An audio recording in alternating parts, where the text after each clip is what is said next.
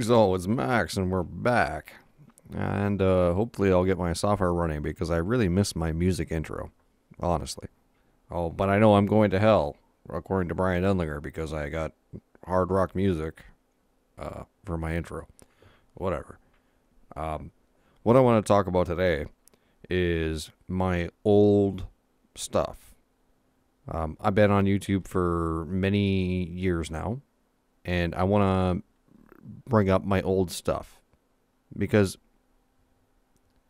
most people just watch the newest thing that you have that comes out. And I'm going to tell you that the oldest stuff that I have is going to be the best content that I have. It's the most well produced. I put the most time and effort into it, the most research into it. And you can also see in some of these videos where I am screwed up on doctrine and how I correct myself over the years because I'm not a Christian coward. All right. I do the complete Max Bauer as my playlist for stuff that I did. Most of the videos that I have are in that, and I switched it from doing it from the newest first to the oldest first. So, if you want to see me as a young buck and a young babe in Christ, and how to do a channel, and what I was doing four or five years ago. There it is. All right. And look at that. Nobody's watching them. It's kind of funny that people are watching that one. E. coli? Who knows about that? Hmm?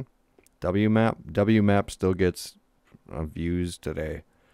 And yes, I proved that the Earth is the center of the universe with that video. Actually, NASA did it.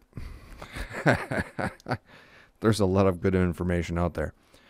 And the reason that I'm bringing this up is because if you want if you want good information, you're thinking about how am I going to do a channel and what do I do and and this that and the other thing.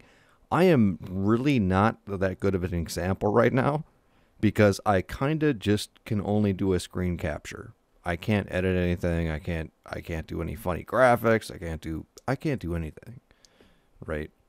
Um so go back and run complete Max Bauer and, and run through that.